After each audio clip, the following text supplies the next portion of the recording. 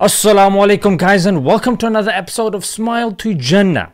Now don't worry, you guys aren't the only ones that aren't watching the Olympics. Rubbish, rubbish, my friend, rubbish. Who is gonna watch the paint dry if we're sitting watching the Olympics? Yeah? Who's gonna be there at the microwave staring at it whilst it goes round and round, warming up our rice, knowing they've got too much carbs and they're gonna go straight to the old belly. Is that stuff I've been doing? Am I projecting it on you?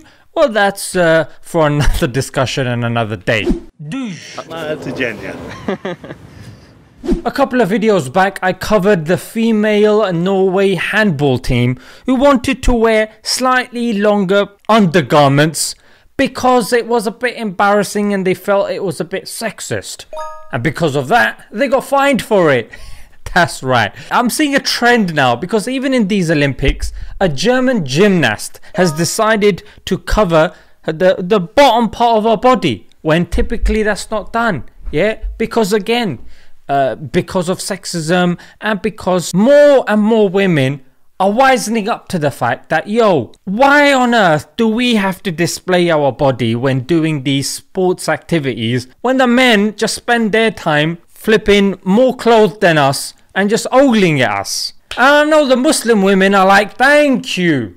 This is what we've been telling y'all for this time. And this is why we cover up as well. Uh, Obviously, they probably wouldn't be shouting like that and uh, probably uh, better spoken than me. But the main focus of this video is judo, yeah, and two people in particular, yeah. You've got somebody called Muhammad Abdul Rasul of Sudan who didn't face an Israeli opponent. Now, it is unclear to what his motives actually were, but the media and his opponent are more inclined to the fact that, yo, it's probably in solidarity of the Palestinians and because obviously he doesn't want to legitimize uh, us. But whatever it is, he hasn't come out and said anything yet.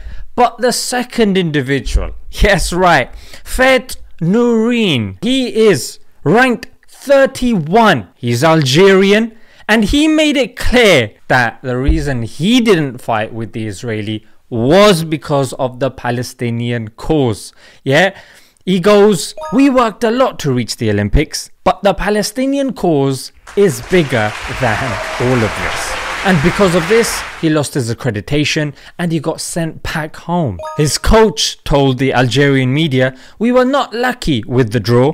We got an Israeli opponent, and that's why we had to retire. We made the right decision. Now let's back it up for a minute right here. Hold your horses. The Olympics is the biggest competition these athletes get to compete in. These are the best athletes that these countries have to offer, and they have been sent forth as beacons to represent these nations. For them to even qualify for the Olympics, they have to be on peak performance. They have to be obsessed with their sport, training morning and evening and morning and evening, your dietary regime.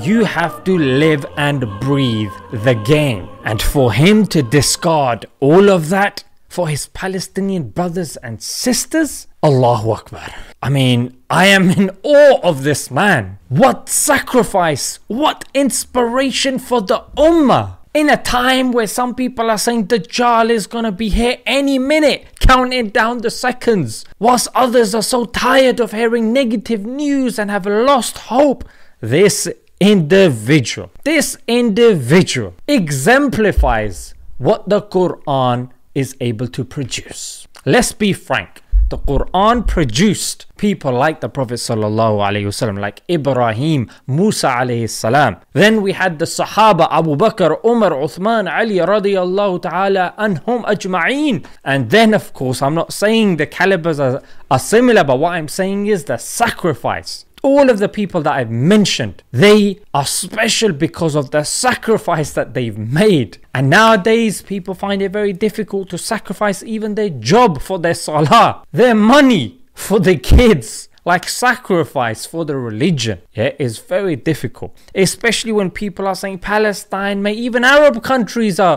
you know, uh, turning their backs on the Palestinians. So for this individual to come forward and do what he did, yo, mashallah, may Allah bless you. And also the people that are making sacrifices on a daily basis but they're unknown to you and me. Even if it's people that are boycotting Israeli products in their homes. Be it a few brands, I know you can't boycott everything, be it a few brands, prominent brands that you're boycotting, so at least on the day of judgment, you can stand in front of Allah.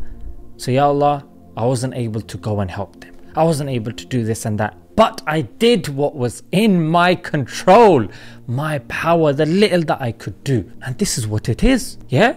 We had Hajj that just finished very recently. And you can see the three jamarat, the three pillars that as Muslims we throw the pebbles against because that's where the shaitan appeared in front of Ibrahim salam. But the question arises, why are Muslims still throwing pebbles? Does shaitan come and stand there?